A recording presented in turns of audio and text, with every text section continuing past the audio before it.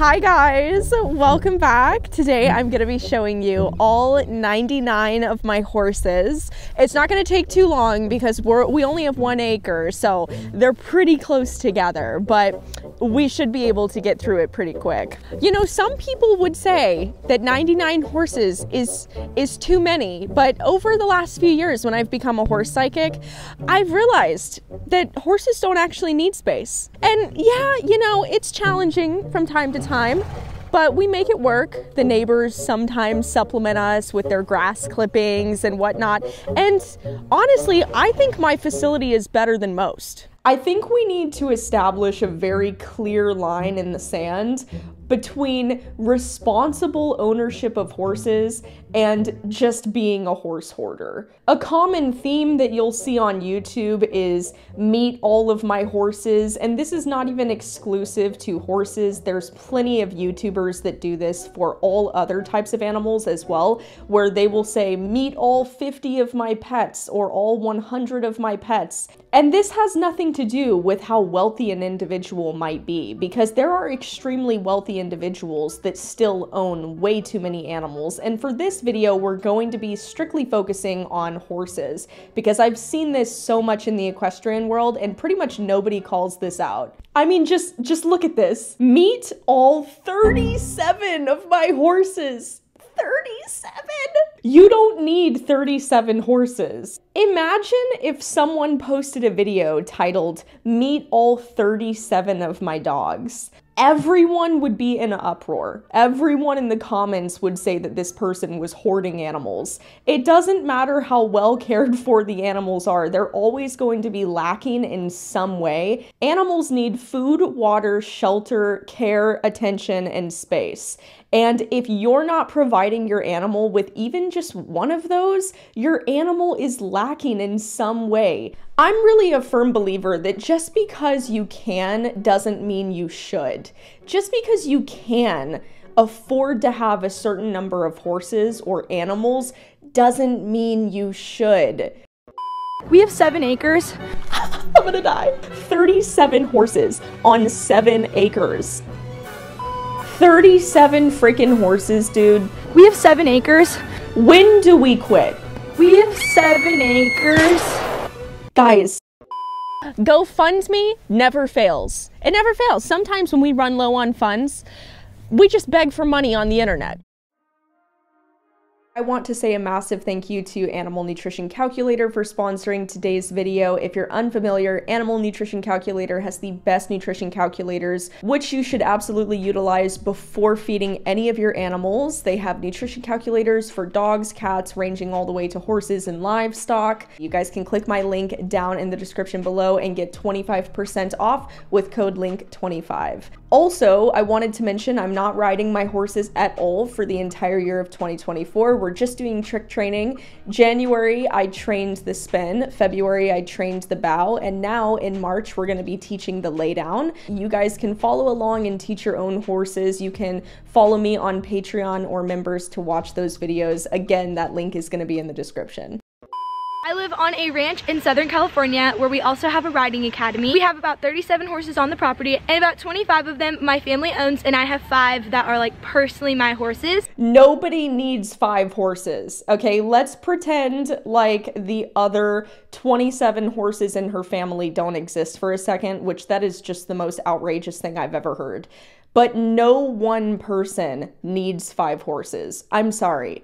Unless you actually have the time and the space and the money for five horses, you don't need five horses. You need to be spending time with them every day, taking care of them. I see way too many people buy horses just because they can afford it, and then they never spend any time with their horse, and their horse ends up with problems behaviorally or physically, etc., from the lack of exercise and care, which is a form of neglect. It doesn't matter if you're feeding your horse every single day. And I also see people who don't have the money for the horses that they have and oftentimes ask other people for money to support their horses. And I also see people who have horses, let's say they have the time and they have the money, but they don't have space. Five horses should honestly be on like 10 acres. I would say five acres at minimum most horses should be on between one to four acres per horse, and that depends on if you're going to supplement them with food. And you should not have more horses than the acreage that you have available for them because horses need to have space. How much do you want to bet, you guys? I guarantee you that this place has no pastures, no turnout, and every single one of these horses is in a 12 by 12 box stall. First, our first lucky contestant. This is Pete. This is my mom's horse. He's a Turbo Friesian. He's a handsome boy. He's a stallion. Come on. Did I call it? Because I called it. Just because you can doesn't mean you should. These horses don't even have runs. I was I was honestly trying to give her the benefit of the doubt and say, you know what? Maybe because there's not that much space in Southern California, maybe these horses will have runs. It's possible. Okay, so I don't want to hear anybody saying that Southern California, it's impossible to have tons of space because I boarded at a barn in Southern California for three years. And even though they didn't have pasture board, all of the horses there had stalls with large 35 foot runs off the back. And we also had like five different turnout pastures for the horses to go run and play every day. Uh, let's hope to God that they at least have turnout. It really worries me when I see places like this because it's just overcrowding animals for profit. This is a riding facility, and these horses live such a shit quality of life. Like, this is literally a 12 by 12 box stall. And don't even get me started on the fact that this is a stallion, that this crossbred horse is a stallion. He's a Turbo Friesian. He's a handsome boy. He's a stallion. Come on. I absolutely despise people who do irresponsible breeding. I'm sorry. There is no reason for your crossbred horse to be a stallion. Organizations do not want people crossbreeding horses because it contributes to overpopulation problems. It contributes to bad breed conformations. It ruins certain breeds.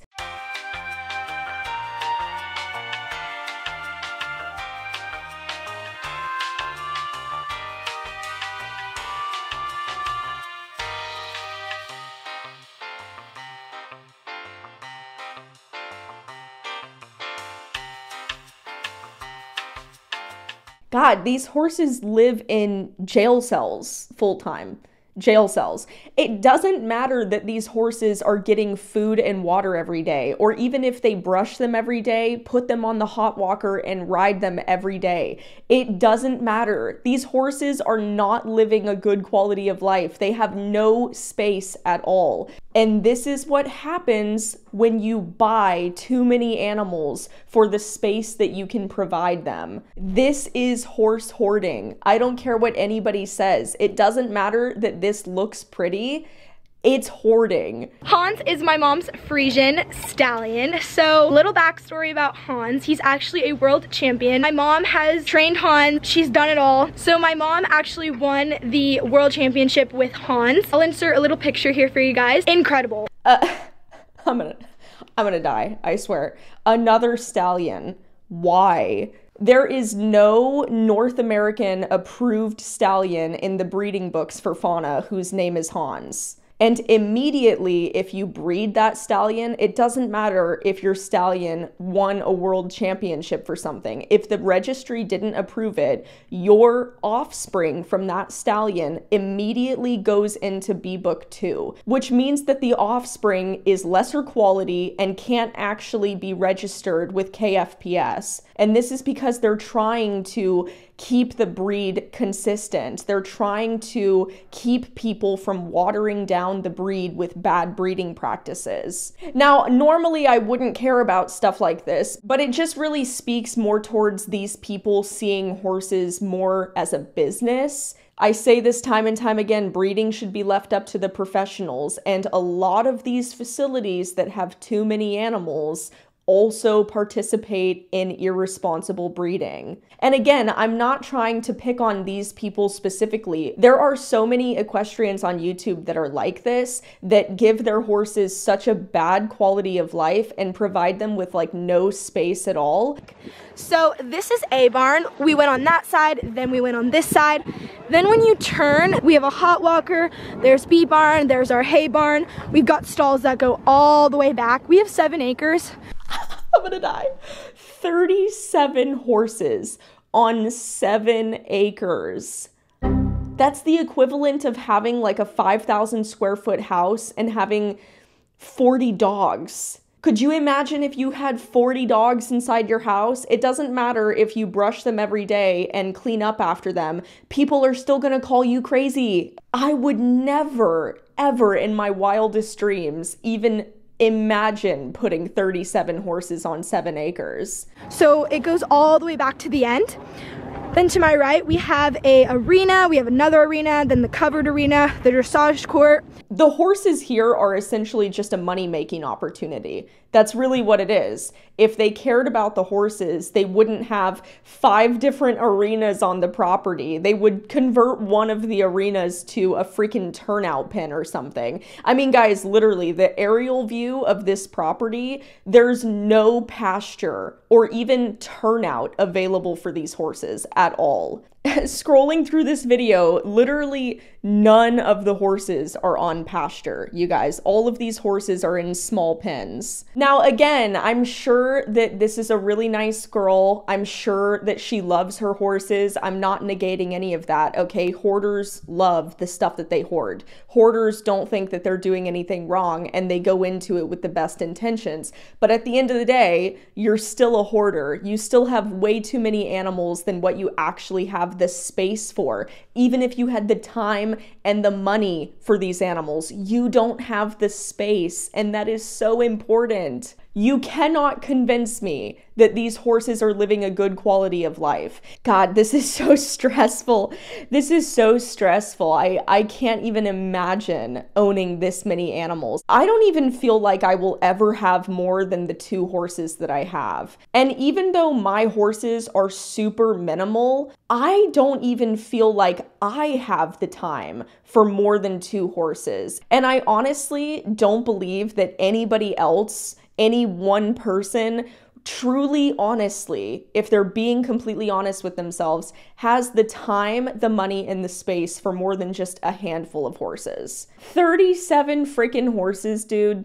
When do we quit? there are actual cases of neglect that pop up every single year. Now, I'm not saying that this place is going to end up neglecting their animals by no means. I'm just saying that every single year there are boarding facilities exposed for horse abuse and neglect because they have too many horses for what they can take care of or provide space for or have the financial means to care for. And eventually, over time, all of that compounds and the facilities get worse and worse and worse, but yet they don't want to get rid of any of their horses. The owners of these horses live all over the country, so many were not aware of the problems here. They were also surprised since Rareshide was highly acclaimed in the horse community. I think it's important for equestrians to have conversations about responsible horse ownership. So that way we can really prevent people from getting themselves into worse and worse hoarding situations.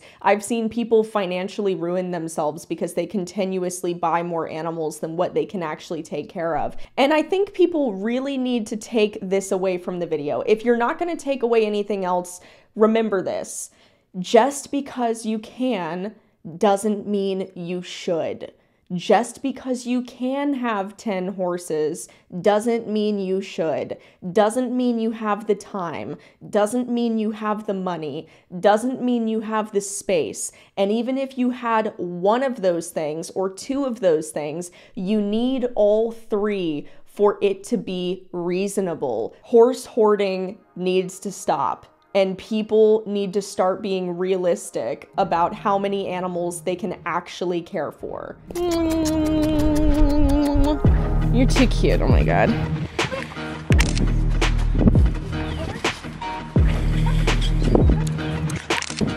Since it's... No, it's alright. this. Ready? Oh, okay. Okay, I'm gonna lift their heads a little bit.